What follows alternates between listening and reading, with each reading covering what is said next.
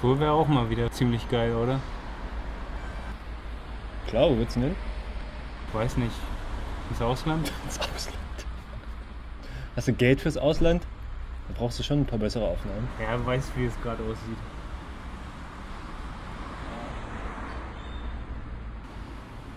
Ich glaube, Converse hat sowas ausgeschrieben.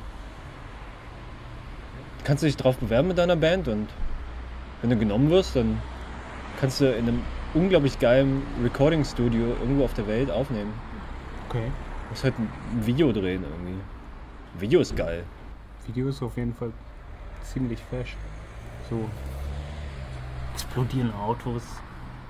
Verfolgungsjagd. Pyrotechnik, Alter. ja. Und hast du Geld für Pyrotechnik?